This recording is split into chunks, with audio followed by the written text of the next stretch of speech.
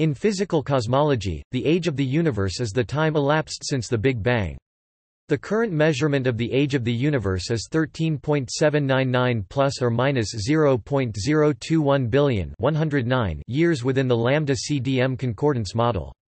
The uncertainty has been narrowed down to 21 million years, based on a number of projects that all give extremely close figures for the age. These include studies of the microwave background radiation, and measurements by the Planck satellite, the Wilkinson Microwave Anisotropy Probe and other probes. Measurements of the cosmic background radiation give the cooling time of the universe since the Big Bang, and measurements of the expansion rate of the universe can be used to calculate its approximate age by extrapolating backwards in time.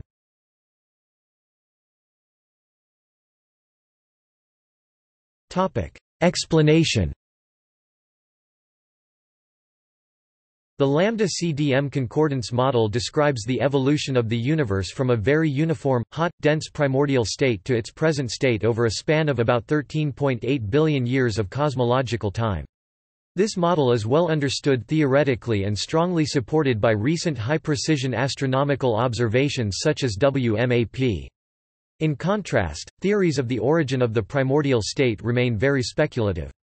If one extrapolates the lambda CDM model backward from the earliest well-understood state, it quickly within a small fraction of a second reaches a singularity.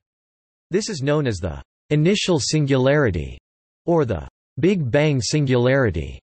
This singularity is not understood as having a physical significance in the usual sense, but it is convenient to quote times measured since the Big Bang, even though they do not correspond to a physically measurable time. For example, 10-6 seconds after the Big Bang is a well-defined era in the universe's evolution. If one referred to the same era as 13.8 billion years minus 10 minus 6 seconds ago, the precision of the meaning would be lost because the minuscule latter time interval is eclipsed by uncertainty in the former. Though the universe might in theory have a longer history, the International Astronomical Union presently use age of the universe to mean the duration of the lambda CDM expansion, or equivalently the elapsed time since the Big Bang in the current observable universe.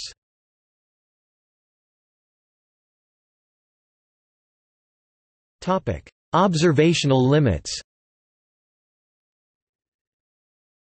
Since the universe must be at least as old as the oldest things in it, there are a number of observations which put a lower limit on the age of the universe. These include the temperature of the coolest white dwarfs, which gradually cool as they age, and the dimmest turn-off point of main sequence stars in clusters. Lower mass stars spend a greater amount of time on the main sequence, so the lowest mass stars that have evolved off of the main sequence set a minimum age.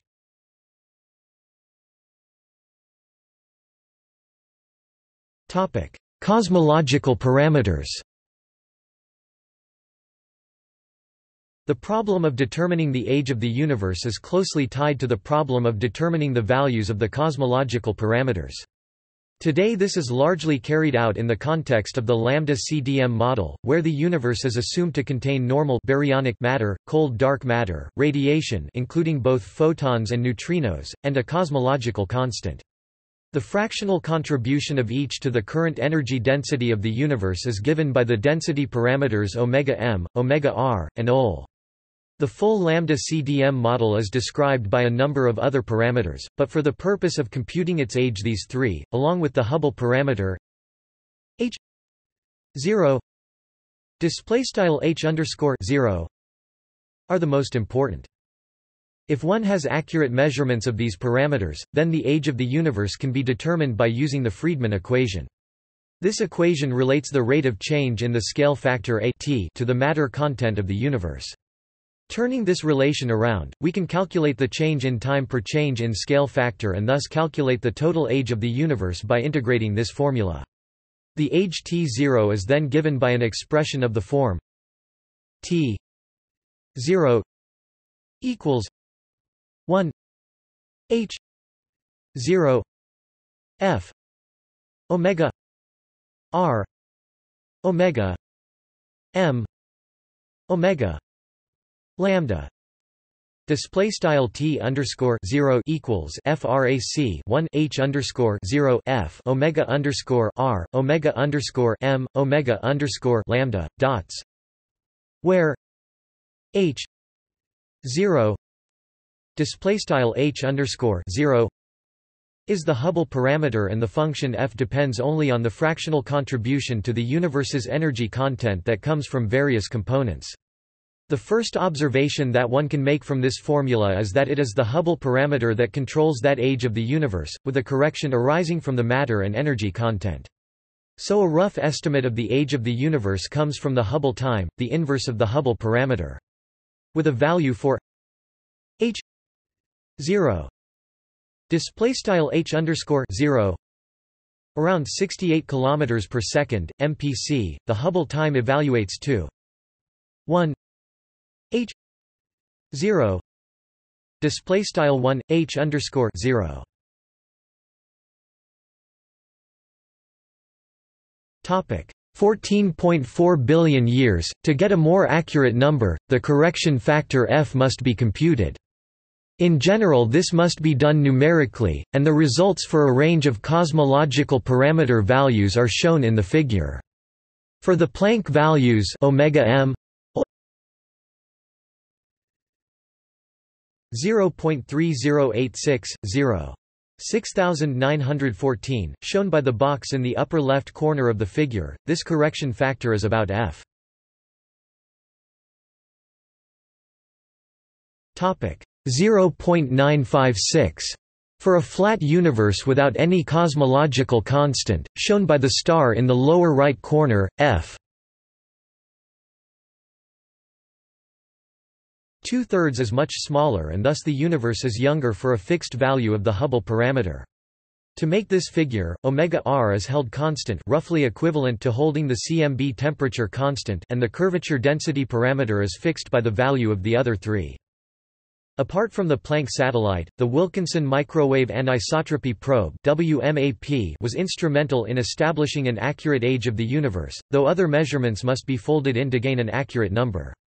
CMB measurements are very good at constraining the matter content omega m and curvature parameter omega k. It is not as sensitive to OL directly, partly because the cosmological constant becomes important only at low redshift.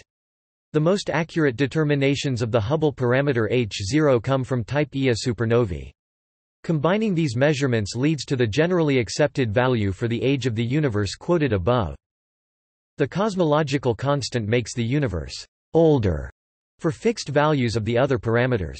This is significant, since before the cosmological constant became generally accepted, the Big Bang model had difficulty explaining why globular clusters in the Milky Way appeared to be far older than the age of the universe as calculated from the Hubble parameter and a matter-only universe.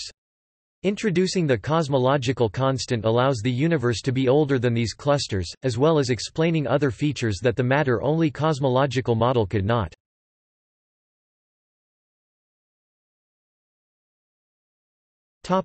WMAP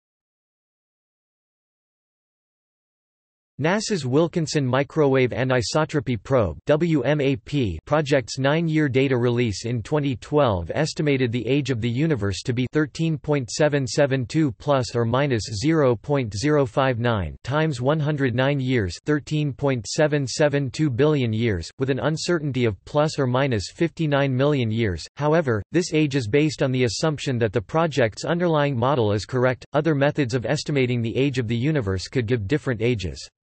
Assuming an extra background of relativistic particles, for example, can enlarge the error bars of the WMAP constraint by one order of magnitude. This measurement is made by using the location of the first acoustic peak in the microwave background power spectrum to determine the size of the decoupling surface, size of the universe at the time of recombination. The light travel time to this surface, depending on the geometry used, yields a reliable age for the universe. Assuming the validity of the models used to determine this age, the residual accuracy yields a margin of error near 1%.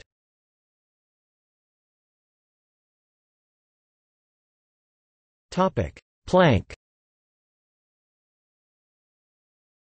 In 2015, the Planck collaboration estimated the age of the universe to be 13.813 plus or minus 0.038 billion years, slightly higher but within the uncertainties of the earlier number derived from the WMAP data. By combining the Planck data with external data, the best combined estimate of the age of the universe is 13.799 plus or minus 0.021 times 109 years old.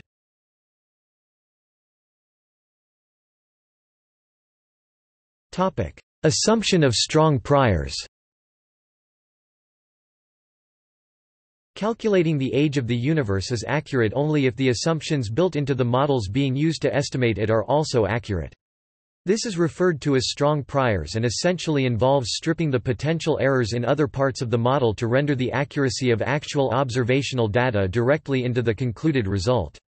Although this is not a valid procedure in all contexts as noted in the accompanying caveat, Based on the fact we have assumed the underlying model we used is correct. The age given is thus accurate to the specified error since this error represents the error in the instrument used to gather the raw data input into the model.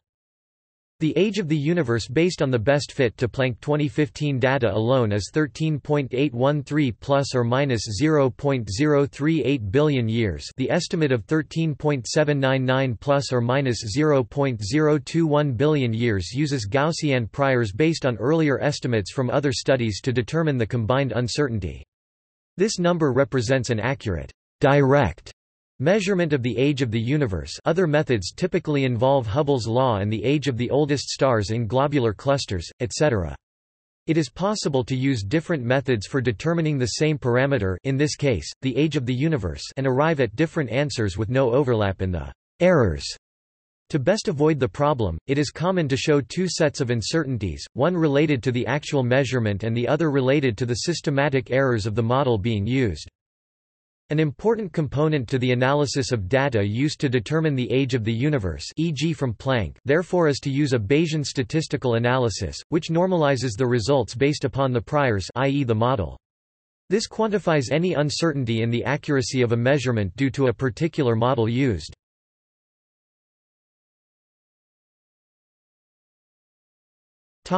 History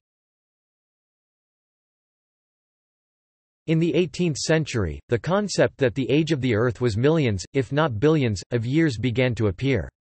However, most scientists throughout the 19th century and into the first decades of the 20th century presumed that the universe itself was steady state and eternal, with maybe stars coming and going but no changes occurring at the largest scale known at the time. The first scientific theories indicating that the age of the universe might be finite were the studies of thermodynamics, formalized in the mid-19th century. The concept of entropy dictates that if the universe or any other closed system were infinitely old, then everything inside would be at the same temperature, and thus there would be no stars and no life. No scientific explanation for this contradiction was put forth at the time. In 1915 Albert Einstein published the theory of general relativity and in 1917 constructed the first cosmological model based on his theory. In order to remain consistent with a steady-state universe, Einstein added what was later called a cosmological constant to his equations. However, already in 1922, also using Einstein's theory, Alexander Friedmann, and independently five years later Georges Lemaitre, showed that the universe cannot be static and must be either expanding or contracting. Einstein's model of a static universe was in addition proved unstable by Arthur Eddington. The first direct observational hint that the universe has a finite age came from the observations of recession velocities, mostly by Vesto Slipher, combined with distances to the nebulae galaxies by Edwin Hubble in a work published in 1929.